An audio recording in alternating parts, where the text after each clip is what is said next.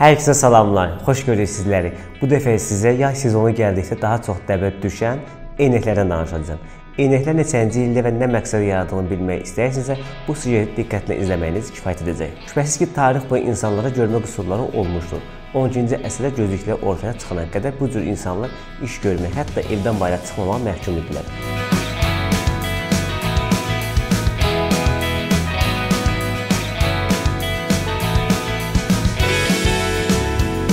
Gözün əsas hissəsi olan optik şüşənin tarixi 4500 il əvvələ gedib çıxır. Qədimdə insanlar optik biliklərə malik idilər.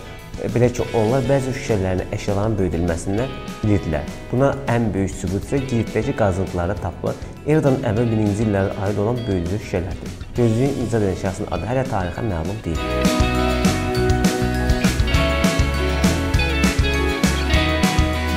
Bəşəriyyətin böyük minnətdarlıqla yad etdiyi bu şəxsin kimliyi bütün araşdırmalara rəğmən hələ sirr olaraq qalıb. Eynəklərin yaranmasına bağlı belə bir iddia var ki, e, onları ilk dəfə Eskimoslar yaratmışdı. Eskimoslar elə düşünürlər ki, soyuq şimalda qarın və buzun içində gözlərini işıqdan niyə qorumaq lazım olsun? Günəşli günlərdə işıq ancaq göy üzündən düşür, qarın üstündə bütövlüyə əks olunur. İşıq o qədər olur ki, torlu qışlanın yandığı qar çorluğu yarada bilər. Qütb insanlara göz quruluşunun dar olması bir uyğunlaşmadır.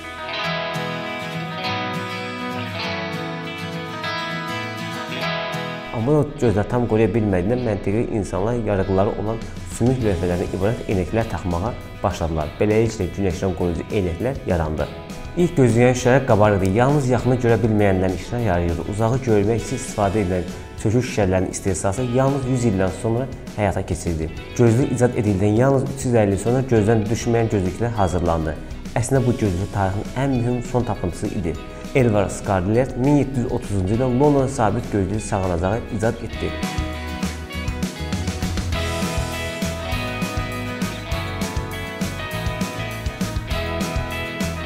Gözlüklərin inkişafı yavaş-yavaş getsə də bəşəriyyətə xidməti böyük oldu və ən az insanların həyata bağımlılıqlarını artırdı. Mətbəələrin meydana gəlməsi kitab və qəzetlərin sayının artmasına səbəb oldu.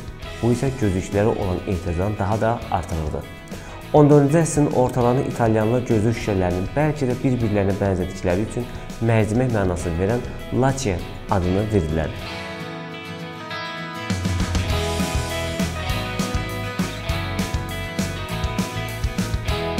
İngilis dilində lentil olan mərcimək təqribən 200 il gözlük şüşəsi mənasında işlənildi. Belə bir sual doğru tarixdə ilk gözlük mağazası, eynək mağazası nə vaxt və neçənci ildə fəaliyyətə başlayıb. Elə isə yenə bir öyrənir.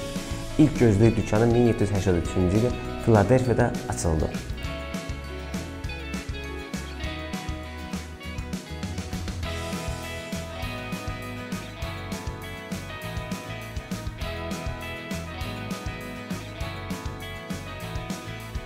Friends Elster gözlükləri bir səbətin içərisinə yığılır və müştərilər onları bir-bir yoxlayaraq gözlərinə düşəni alırdılar. Onu da qeyd edim ki, bəzi mənbələr belə iddia edir ki, ilk eynək ilk dəfə 1780-ci ildə İtaliyada Salvio Delle Artiglieri tərəfindən icad olunduğu bildirilir.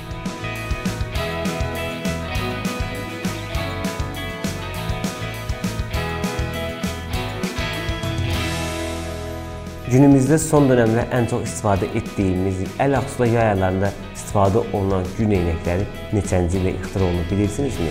Elə isə gəlin birlikdə öyrənək. İlk günəş eynəyinə gəldikdə isə o 143-cü ildə Çinlilər tərəfindən istifadə edilməyə başlanıldı. Ancaq Çinlilər də qaratdıqları ilk gözlüklə günəşdən qorunmaq üçün deyil, onlar bu gözlüklərə daha çox gözlərinin görməsin deyə istifadə edirlər.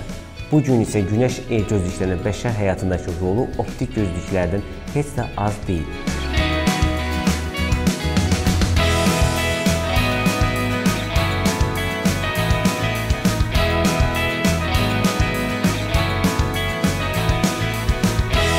Onu da xatırladım ki, hal-hazırda müasir dönəmimizdə bir çox dünya brendləri yüksək məbləğ qarşılığında gün eynəkləri istehsal edir.